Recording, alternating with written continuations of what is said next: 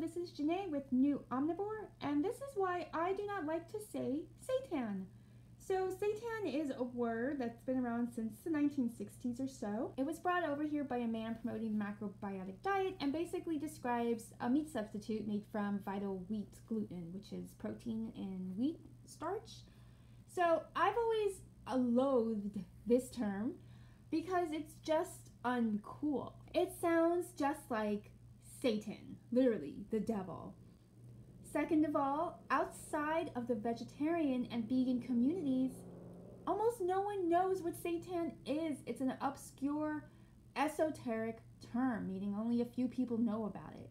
Uh, so it's very unhip in that way. It's just bland and kind of yucky. It sounds like it's describing alien food that only a certain subset a group of people would touch, in this case, vegetarians and vegans. I've never liked the term.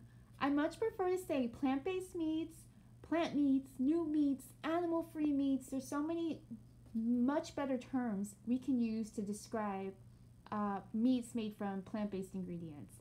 So, anyway, that's why I refuse to use it, uh, and I do believe it should be phased out, you know, fade away in popularity among the vegetarian and vegan community because it's just, it doesn't do plant based meats any justice. It doesn't do it any favors. It just makes it look weird and sound like alien food. Please follow me on Instagram for more content on animal free innovation.